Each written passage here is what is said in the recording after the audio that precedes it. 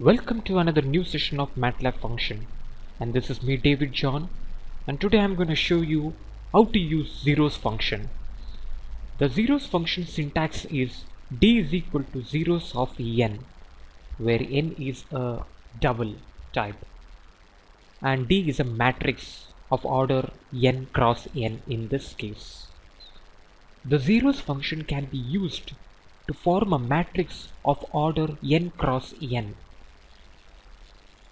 the zeros function also have different syntax like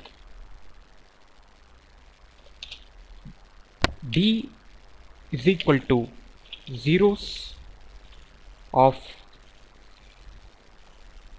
m comma n where it forms a matrix of order m cross n.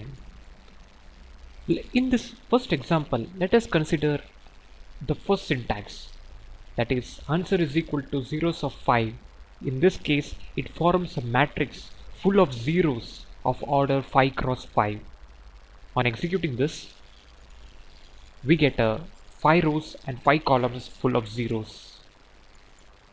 Now let us consider the second syntax. For example if I used 2 cross 5 that is 2 rows and 5 columns let us clear this one before we execute it. On executing this one I get two rows and five columns full of zeros. That's all for today guys. Thank you